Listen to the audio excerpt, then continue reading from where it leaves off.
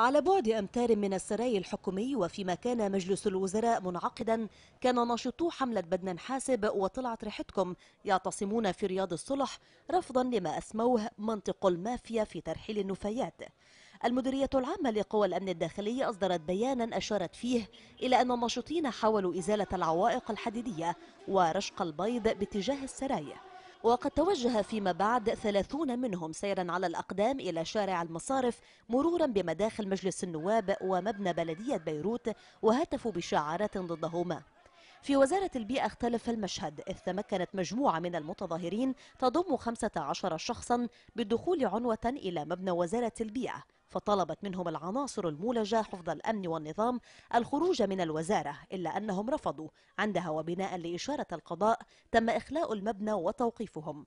وأثناء سوقهم إلى القطعة المعنية لاستماع إفاداتهم اعترض عدد من المتظاهرين طريقة الآلية التي تنقل الموقوفين وأقدموا على رشقها بالحجارة وحصل تدافع مع عناصر قوى الأمن ما أدى إلى توقيف ثلاثة آخرين. وخلال التحرك أصيب عنصران من قوى الأمن الداخلي ومتظاهران.